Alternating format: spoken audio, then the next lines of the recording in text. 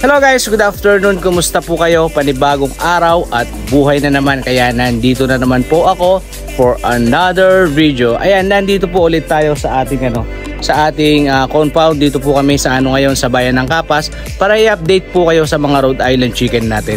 Medyo malalaki na po kasi sila at malapit na rin sila mag-breed. So papakita ko po sa inyo kung anong status nila ngayon. Let's go!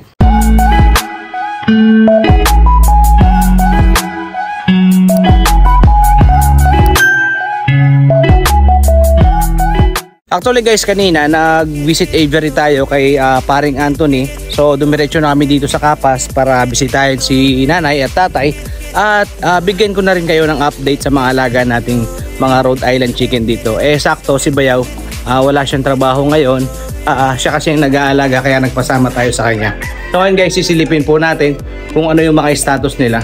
Bago po natin puntahan yung ano yung mga manok natin gusto ko lang po ulit pagkita sa inyo kung gaano kaganda yung location dito sa amin. Napaka-presko ng ano ng lugar kahit natirig yung araw. Pero may mga halaman tayo na pwedeng silungan na yun. Mga saging, mga mangga, mga santol ayan.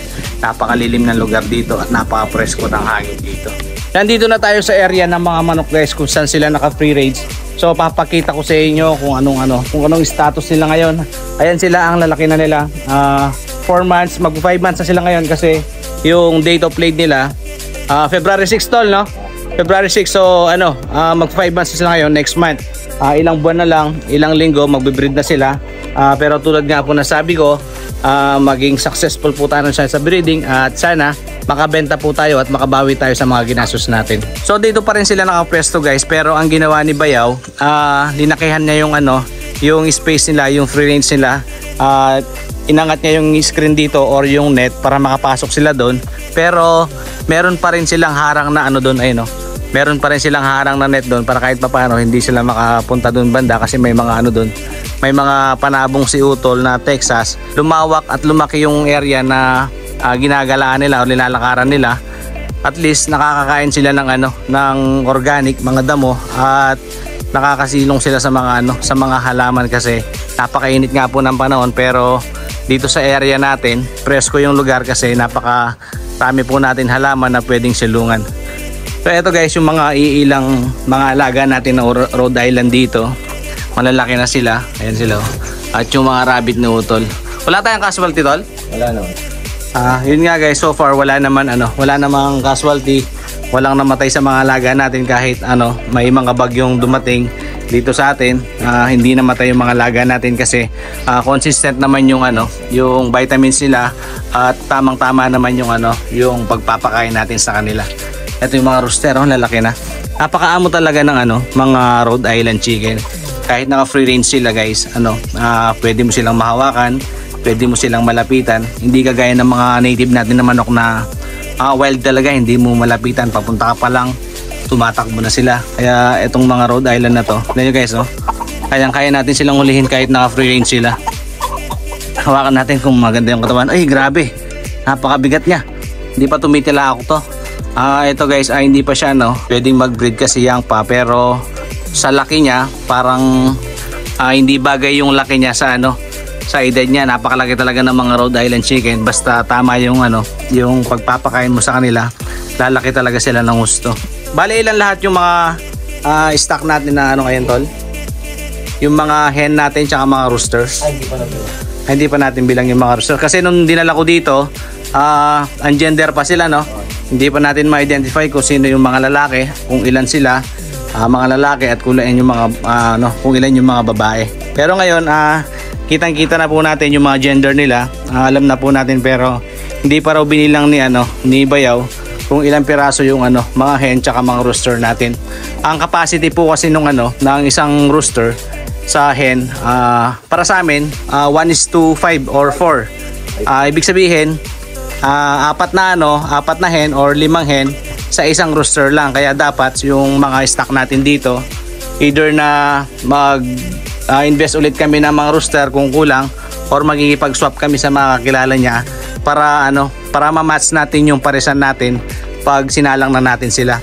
Kasi plano po namin gawin ni Bayaw dito. Dito sa area na to, gagawa kami ng uh, kagaya nito na may bubong na breeding area or breeding cage kung tawagin natin. Or ito na lang papartition na namin to para uh, sa mga breeder natin para malaman natin kung ano yung mga ano mga parents sila pag time na nag-hatch na yung mga ano natin yung mga itlog natin. Nandito ako ngayon guys sa kabilang area ng mga manok natin. Kung makikita nyo sa likod ko napakalaki ng area na ginagalawan nila. At ito naman yung boundary na nilagay nila utol yung net na to hanggang dito lang yung mga Rhode Island chicken natin kasi may mga ano doon may mga text may mga Texas si utol para hindi naman mahaluan ng ibang lahi yung mga manok niya. So kung makikita nyo guys yung area ng ano yung mga Rhode Island chicken natin napakalaki din ang ginagalawan nila.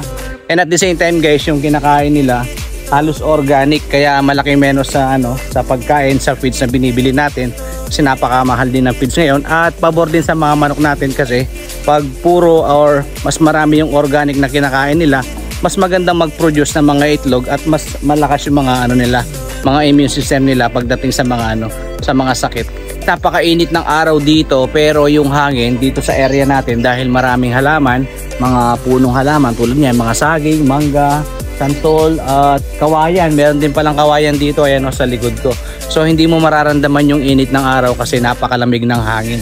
Kaya yung mga manok natin dito nag enjoy sila kahit natirik yung araw. Tulad ngayon alauna po ng, ano, ng tanghali mainit po yung panahon. Pero hindi sila hinihingal dahil marami silang ano, marami silang halaman na pwedeng sulungan. At yung mga damo na ano na kinakain nila as in fresh pa talaga yan guys. Kung makikita nyo green na green yung area dito kasi uh, nag-uulan na nga po at yun pabor naman sa atin.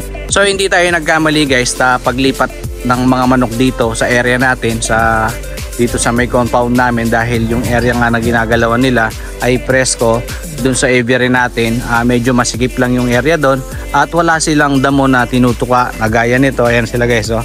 nag enjoy sila sa damo hindi kagaya dun sa aviary natin naubos na yung damo dahil hindi nasisinaga ng araw. Pero ngayon makikita nyo guys oh, nag enjoy yung rooster natin sa kakakain ng ano ng damo and organic at yung ibang mga kasama niya. At meron din palang mga ano dito si Utol oh, mga talong na tanim. Tapos ayun mga papaya. Halos kumpleto na yung mga halaman namin dito. Yung area na to guys siguro hindi kami nagkakamali uh, magsasampung taon na yata kami dito nung nabili namin to. Yung mga halaman ni tininim ni Utol ayan malalaki na yung mga mangga. Tapos yung area doon ako yung magtanim sa malaking mangga na yun no? tinanim ko yun hindi ako nagkakamali. Yun lang ang nabuhay sa tinanim ko tsaka yung ano yung guyabano na isa.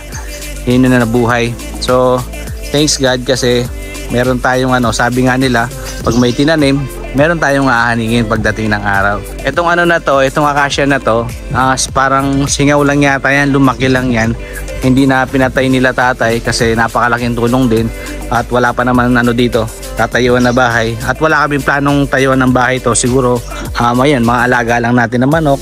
At uh, very soon, plano din namin ni Bayaw na ano, mag-alaga ng mga pato rito kasi uh, medyo makakamenos nga po tayo sa pagkain dahil sa mga damong nakapaligid sa atin. Hindi na natin kailangan ng mag grass cutter kasi kinakain ng mga alaga nating manok.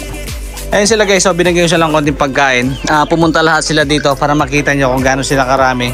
Uh, nasabi nga ni Utol na wala naman tayong casualty sa kanila kahit ilang bagyo yung dumating dito. Malalakas naman daw yung mga resistensya nila at pangangatawan nila. So ayan lahat sila guys na nakikita ko parang mas marami yung mga ano mas marami yung mga babae kaysa sa ano kaysa sa lalaki.